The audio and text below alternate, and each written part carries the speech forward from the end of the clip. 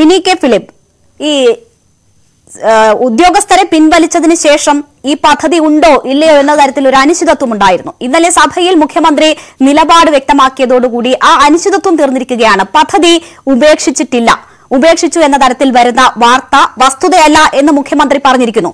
സ്ഥലം അത് പണയം വെക്കുന്നതിനോ കൈമാറുന്നതിനോ യാതൊരു തടസ്സമോ ബുദ്ധിമുട്ടോ ഇതിന്റെ ഭൂ ഉടമകൾക്കുണ്ടാകില്ല എന്ന ഒരു ഉറപ്പ് മുഖ്യമന്ത്രി സഭയിൽ നൽകുന്നുണ്ട്.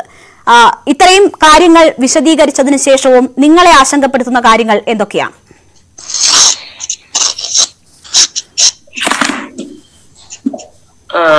മുഖ്യമന്ത്രി ഇന്നലെ നിയമസഭയിൽ പദ്ധതിയുമായിട്ട് മുന്നോട്ട് പോകും എന്ന ഒരു നിലപാടാണ് പ്രഖ്യാപിച്ചിട്ടുള്ളത്. ആ നിലപാട് അങ്ങേറ്റം ദൗർഭാഗ്യകരമാണ് എന്നാണ് ഞങ്ങൾക്ക് പറയാനുള്ളത്. അങ്ങേറ്റം ദൗർഭാഗ്യകരമാണ് എന്നാണ് ഞങ്ങൾക്ക് പറയാനുള്ളത്. മുഖ്യമന്ത്രി പദ്ധതി പിൻവലിച്ച് ഉത്തരവിറക്കുക എന്ന് പറയുന്നത് അങ്ങേയറ്റം അനിവാര്യമായ ഒരു കാര്യമാണ്. പദ്ധതിയെ സംബന്ധിച്ചിടത്തോളം ഇത് കഴിഞ്ഞ മൂന്ന് വർഷമായിട്ട് കേരളത്തിൽ കേരയിൽ പദ്ധതിയുടെ പദ്ധതിയെ സംബന്ധിക്കുന്ന വളരെ വിശദമായ ചർച്ചകൾ നടന്നുകൊണ്ടാണ് ഇരിക്കുന്നത്. കേരള റെയിൽ ഡെവലപ്മെന്റ് കോർപ്പറേഷൻ തന്നെ മുന്നോട്ട് വെച്ച രേഖകളെ അടിസ്ഥാനമാക്കി കേരളത്തിൽ വിഷയ വിദഗ്ധരടക്കമുള്ള ആളുകൾ നടത്തിയ ചർച്ചകളിലൂടെ ഉരുത്തിരിഞ്ഞു വന്നത് ഈ പദ്ധതി കേരളത്തിന് ഒട്ടും ആശാസ്യമല്ല ആവശ്യമല്ല പദ്ധതി അങ്ങേറ്റം അശാസ്ത്രീയമാണ് എന്നുള്ള ഒരു ഒരു ധാരണയാണ് ഈ ചർച്ചകളിലൂടെ ഉരുത്തിരിഞ്ഞു വന്നത്.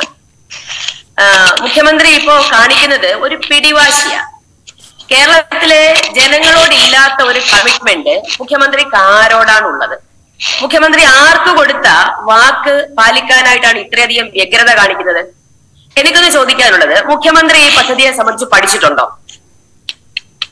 ഇത് ഡി പി ആർ ആണ് കേരള റെയിൽ ഡെവലപ്മെന്റ് കോർപ്പറേഷൻ ഇതുമായിട്ട് മുന്നോട്ട് വെച്ചിട്ടുള്ള ആധികാരികമായ രേഖ.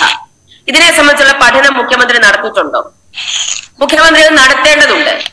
എന്ന് തന്നെയുമല്ല ഇത് കേരളത്തിലെ ജനങ്ങൾ ഈ പദ്ധതിയെ സംബന്ധിക്കുന്ന ആശങ്ക ഉയർത്തിയത് ഒന്ന് ഇത് ലക്ഷക്കണക്കിന് ആളുകളെ കുടിയിറക്കാൻ പോകുന്ന ഒരു പദ്ധതിയാണ്.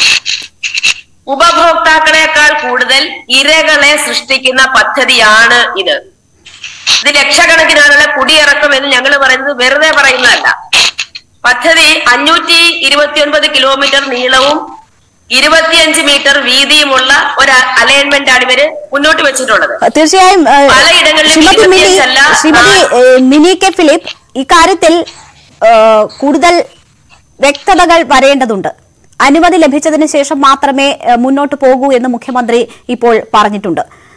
നമുക്കറിയാം ഒരു സർക്കാർ വിഭാവനം ചെയ്ത ഒരു പദ്ധതിയാണ് അതുമായി മുന്നോട്ട് പോകുക എന്നത് സർക്കാരിന്റെ ഇച്ഛാശക്തിയാണ് അങ്ങനെ ഒരു പദ്ധതി കൊണ്ടുവന്ന് അത് നടപ്പാക്കുക എന്നുള്ളത്. അതിനുള്ള താല്പര്യം എന്തായാലും ആ സർക്കാർ കാണിക്കും. നിങ്ങൾക്ക് ഇപ്പോൾ ഇന്നലെ മുഖ്യമന്ത്രി സഭയിൽ പറഞ്ഞതുമായി ബന്ധപ്പെട്ട് എന്ത് ആശങ്കകളാണ് ഇനി ബാക്കിയുള്ളത്?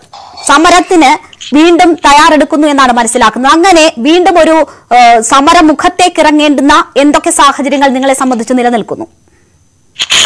മുഖ്യമന്ത്രിയുടെ ഇന്നലത്തെ നിലപാട് സമരസമിതിക്ക് യാതൊരു ആശങ്കയില്ല അവ്യക്തതയുമില്ല. ഞങ്ങളിപ്പോ ഉയർത്തിരിക്കുന്ന ആവശ്യങ്ങൾ എന്ന് പറയുന്നത് ഒന്ന് പദ്ധതി പിൻവലിച്ച് ഉത്തരവിറക്കണം. പദ്ധതി ഈ നിർദ്ദിഷ്ട അലൈൻമെന്റിനകത്ത് നൂറുകണക്കിന് സർവേ നമ്പറുകളുണ്ട്. ഈ സർവേ നമ്പറുകൾ മുഴുവൻ മരവിപ്പിക്കപ്പെട്ടിരിക്കുകയാണ്. ഭൂമിയുടെ ക്രയവിക്രയം നടക്കുന്നില്ല. ബാങ്കിൽ പണയം വെക്കാൻ പറ്റുന്നില്ല ലോൺ എടുക്കാൻ പറ്റുന്നില്ല. എന്നുവെച്ചാൽ ഭൂമിയുടെ ഉടമസ്ഥ അവകാശം ഈ ആളുകൾക്കല്ല. അപ്പൊ അതുകൊണ്ട് പിൻവലിച്ച് ഉത്തരവിറക്കി സർവേ നമ്പറുകൾ ഫ്രീസ്ഡ് ആക്കപ്പെട്ടിരിക്കുന്ന സർവേ നമ്പറുകൾ സ്വതന്ത്രമാക്കുക എന്ന് പറയുന്നത് വളരെ പ്രധാനപ്പെട്ട ഒരു സംഗതിയാണ്. മുഖ്യമന്ത്രിക്ക് വളരെ നന്നായിട്ട് അറിയാം പദ്ധതി നടക്കില്ല. നടക്കില്ല എന്നുള്ളത് മുഖ്യമന്ത്രിക്ക് അറിയാമായിരിക്കെ. ഇപ്പൊ ഉദ്യോഗസ്ഥരെ പിൻവലിച്ചു കേന്ദ്ര സർക്കാർ യാതൊരു വിധത്തിലുള്ള അനുമതിയും കൊടുത്തിട്ടില്ല എന്ന് ഇതിനകം ഒന്നിലേറെ തവണ കേരള ഹൈക്കോടതിയിൽ സമർപ്പിച്ച അഫിഡവിറ്റുകളിലൂടെ വ്യക്തമാക്കപ്പെട്ട കാര്യമാണ്. ഇന്ത്യൻ റെയിൽവേ ഇന്നലെയും പറഞ്ഞിട്ടുണ്ട് കേരളയിലോട് ആവശ്യമായ രേഖകൾ ചോദിച്ചിട്ട് തന്നിട്ടില്ല എന്നുള്ളത് ഇന്നലെയും പറഞ്ഞിട്ടുണ്ട്. അപ്പൊ അതുകൊണ്ട് കേന്ദ്ര സർക്കാരിന്റെ ഏതെങ്കിലും തരത്തിലുള്ള ഒരു അനുമതി ഈ പദ്ധതിക്ക് കിട്ടിയിട്ടില്ല. അങ്ങനെ ഒരനുമതിയും കിട്ടിയിട്ടില്ലാത്ത ഒരു പദ്ധതിയുടെ പേരിൽ ഈ സർവേ നമ്പറുകൾ മരവിപ്പിക്കപ്പെട്ടിരിക്കുന്നു പറയുമ്പം സർക്കാർ ക്രമേണ പിൻവാങ്ങും. ഇത് പദ്ധതി പിൻവലിച്ച് ഉത്തരവിറക്കുന്നില്ലെങ്കിൽ ഈ ഭൂമിയുടെ ഉടമസ്ഥ അവകാശം ജനങ്ങൾക്ക് തിരികെ കിട്ടില്ല. കേരളത്തിൽ ധാരാളം ഉദാഹരണങ്ങൾ അങ്ങനെ ഉണ്ട്. അതിൽ ഒന്ന് ഈ ശബരി പാതയ്ക്ക് വേണ്ടിയിട്ട് കഴിഞ്ഞ ഇരുപത്തിയഞ്ച് വർഷത്തിലേറെയായി ഭൂമി എടുത്തിട്ടിരിക്കുക. ജനങ്ങൾക്ക് ആ ഭൂമി കൊണ്ട് യാതൊരു പ്രയോജനം പട്ടിയോട്ട് വന്നിട്ടുമില്ല.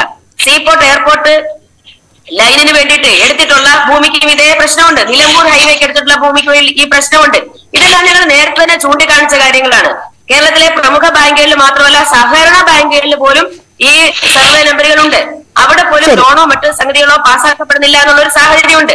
വീട് പണിയാനോ അതിന്റെ എക്സ്റ്റൻഷനോ അറ്റകുറ്റ പണികൾക്കോ ഒന്നും സാഹചര്യമില്ല. അതുകൊണ്ട് ഞങ്ങൾക്ക് ആവശ്യപ്പെടാനുള്ളത് പദ്ധതി പൂർണമായും പിൻവലിച്ച് സർക്കാർ ഉത്തരവിറക്കി ഈ സർവേ നമ്പറുകളെ സ്വതന്ത്രമാക്കണം.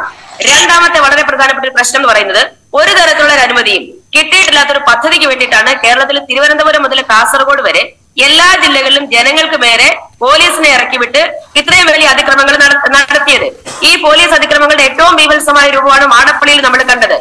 കേരളത്തിൽ ആയിരക്കണക്കിന് ആളുകൾക്ക് നേരെയാണ് കേസുള്ളത്. ഞങ്ങളെ സംബന്ധിച്ച് മാടപ്പള്ളി സമരപന്തലിലാണ് എല്ലാ ദിവസവും സമൻസുമായിട്ട് പോലീസ് ഉദ്യോഗസ്ഥർ വന്നുകൊണ്ടിരിക്കുന്നത്. അപ്പൊ ഈ ജനങ്ങൾക്ക് നേരെ എടുത്തിട്ടുള്ള കള്ളക്കേസുകൾ പിൻവലിക്കണം. നിരുപാധികം ഗവൺമെന്റ് പിൻവലിക്കണം. അതാണ് നിങ്ങൾക്ക് ആവശ്യപ്പെടാനുള്ള രണ്ടാമത്തെ സംഗതി. ഈ രണ്ട് ആവശ്യങ്ങളും നേടിയെടുക്കുന്നത് വരെ സമരവുമായി മുന്നോട്ട് തന്നെ പോകും എന്നുള്ളതാണ് സമരസമിതിയുടെ നിലപാട്. ശരി. ഞാൻ താങ്കളിലേക്ക് തിരിച്ചെത്താം. സൂമിൽ ലഭ്യമായിട്ടുള്ള അതിഥികളിൽ ചില ഡിസ്റ്റർബൻസുകൾ ഉണ്ട്. നമുക്കത് ബുദ്ധിമുട്ടുണ്ടാക്കുന്നുണ്ട്. പേപ്പർ അനങ്ങുന്ന പോലത്തെ ശബ്ദം ദയവായി സഹകരിക്കണം എന്നും കൂടി പറഞ്ഞുകൊണ്ട് ഞാൻ അടുത്ത അതിലേക്ക് പോവുകയാണ്. ശ്രീ വി ജോയ് ചില സാങ്കേതിക പ്രശ്നങ്ങൾ ബോധ്യപ്പെട്ടതുകൊണ്ട്